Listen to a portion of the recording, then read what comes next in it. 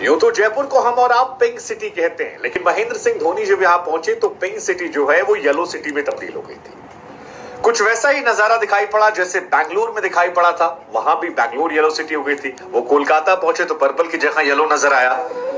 सबको लगा था नतीजा भी शायद वैसा हो जाए लेकिन हाँ, संजू सैमसन की टीम ने कहा अरे ठहरिए जरा।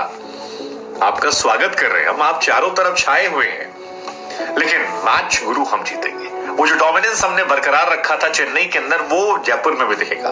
और यही वजह है कि जयपुर के सवाई मानसिंह स्टेडियम में राजस्थान रॉयल्स ने एक आसान जीत दर्ज कर ली चेन्नई सुपर किंग के खिलाफ, और इस जीत के साथ एक बार फिर से पॉइंट टेबल में वो नंबर वन हो गए।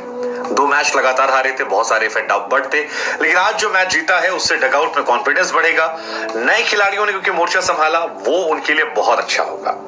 हालाँकि हम आपको बता दें कि ये ग्राउंड जो है, ये धोनी के लिए मेहरबान रहा है। ये वही ग्राउंड है जहाँ पर धोनी ने एक रन मारे थे। और आज पोस्ट मैच धोनी ने कहा भी कि ये मैच ग्राउंड मेरे लिए खास है। फैंस